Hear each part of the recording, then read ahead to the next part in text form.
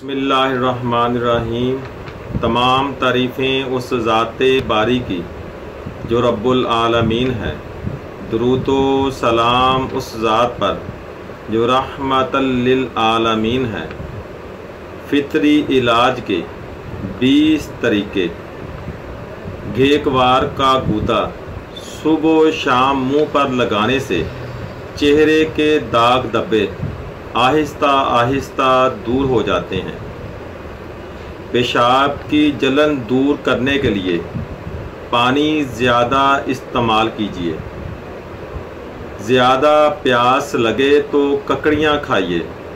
प्यास किसी सूरत ना बुझे तो दूध की कच्ची लस्सी बनाकर दो तीन गिलास पिए। प्यास ख़त्म हो जाएगी। पाँव के तलवे जलते हों तो सुबह शाम घीकवार के गूदे से तलवों की मालिश करें।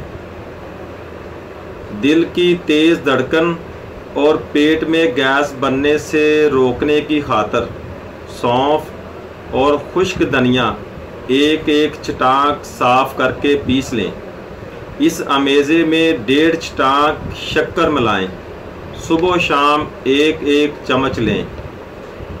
नज़र बेहतर बनाने के लिए सात बादाम पीस कर, आधा आधा चम्मच सौंफ और मिश्री के साथ रोज़ाना लें।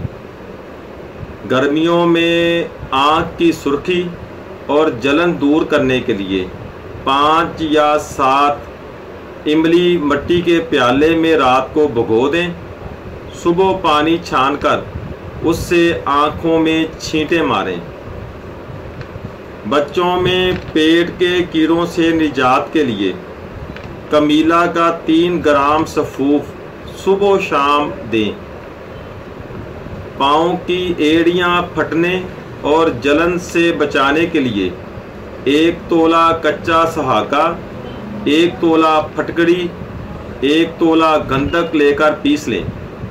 इसमें पेट्रोलियम जेली मिलाकर रात को सोते वक़्त एड़ियों पर लगाएँ। चंद दिनों में अफाका हो जाएगा। मोटापा कम करने के लिए पिसी कलवंजी आधा चम्मच एक पानी में डालकर सुबह निहार मुँह और शाम को लें। एक गिलास पानी में कलवंजी तेल के चार पाँच कतरे और एक लीमू का रस डालकर सुबह शाम मतवातर एक माह इस्तेमाल करने से मोटापा कम हो सकता है। ज़ुकाम के ख़ात्मे के लिए थोड़ी सी चीनी दहकते हुए कोयलों पर डालकर उसका धुआँ सूंघें। हरे धनिए का पानी निकालकर सूंघने से छींकों को कंट्रोल किया जा सकता है।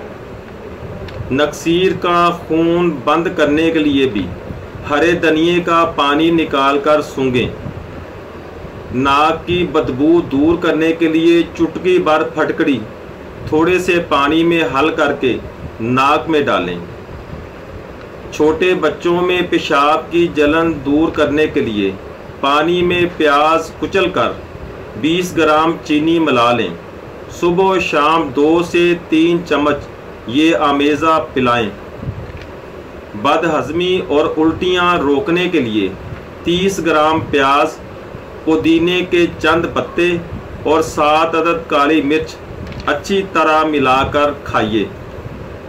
सुबह शाम सलाद के तौर पर प्याज का इस्तेमाल बद हजमी को रोकता है और छः जिस्मानी ताकत को बढ़ाता है।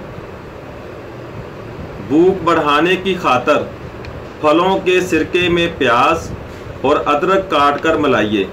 फिर पुदीने के पत्ते, लहसुन के दो चार टुकड़े और थोड़ी सी किशमिश मिलाकर खाने में बतौर सलाद इस्तेमाल करें सर के ज़ख़म और ख़ारिश दूर करने के लिए नीम की नमोलियाँ पीस कर, पानी में मिलाकर, गाढ़ा लेप बनाकर रात को बालों में अच्छी तरह लगाएँ।